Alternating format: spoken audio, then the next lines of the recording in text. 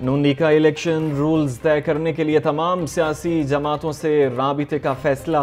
PTI की दस्तियाब क्यादत से भी रबता किया जाएगा। नवाज़ शरीफ की जेर सदारत नून लीग के सीनियर रहनुमाओं के अजलास की अंदरूनी कहानी सामने आ गई।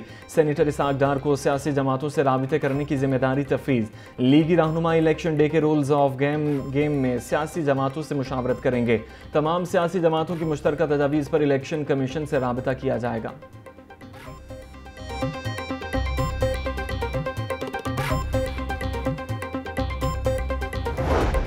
शहर स्मोक के शिकंजे में, लाहौर दुनिया के आलूदा तरीन शहरों की फहरिस्त में बदस्तूर, सर फहरिस्त। शहर का मजमू औसत air quality index 409 record Aamir town में फ़जाई आलूदगी की शरह चार सौ छियानवे रिकॉर्ड मॉल रोड पर 430 और गुलबर्ग में 410 ए क्यू आई पाया गया। शहरियों को आँखों में जलन और सांस लेने में दुश्वारी का सामना।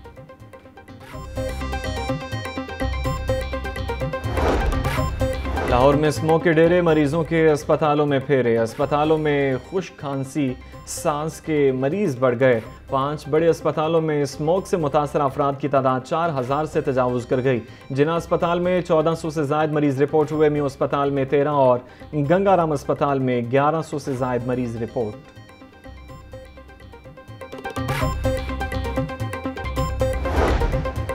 डेंगू मच्छर, बड़ा खतरा बन गया। पंजाब में तीन मजीद अफराद डेंगू बुखार से जान की बाजी हार गए।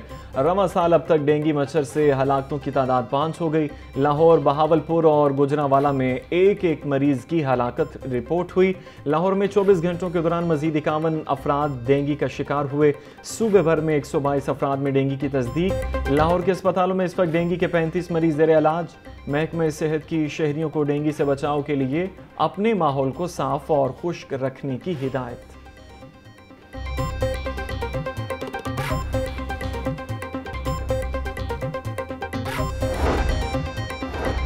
माफिया के गठजोड़ से पंजाब में गंदुम बहरान संगीन जखीरा अंदोजों ने आटा महँगा करने के लिए गंदुम की फरोख्त कम कर दी। लाहौर में गंदुम की फीमन कीमत अड़तालीस सौ रुपये तक पहुँच गई। एक हफ़्ते के दौरान मार्केट में गंदुम पाँच सौ रुपये फ़ी मन तक महँगी। पंजाब के लिए योमिया दरकार गंदुम के हसूल में पचास फ़ीसद का शॉर्टफॉल। बीस किलो आटे के थैले की कीमत दो सौ रुपये बढ़ गई। निगरान काबीना की जानब से सरकारी गंदुम इजरा पॉलिसी की मंजूरी में ताखीर से गंदुम बहरान पैदा हुआ।